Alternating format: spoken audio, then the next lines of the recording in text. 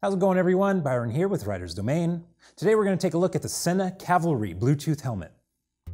Sena is making it easier than ever to incorporate its advanced Bluetooth technology into your next ride with its pre-wired Cavalry helmet.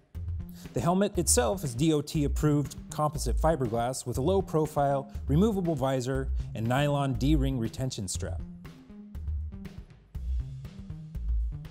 The meat and potatoes is the slim, low profile Bluetooth 4.1 headset that's integrated into the side of the lid.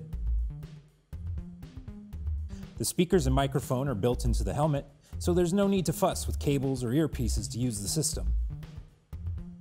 There are ear plates and ear pads included, however, which allow you to amplify the sound of the speakers. It's got wind noise reduction and Sena's advanced noise control technology. There's a four-way intercom system built in, and the communicator has a range of half a mile and 10 hours of talk time before needing a recharge.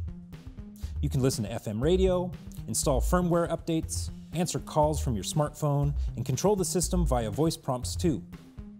Sizes range from extra small to 2XL in black. Check the description for a link to the Sena Cavalry helmet, and be sure to follow Rider's Domain for more product spotlights and motorcycle reviews.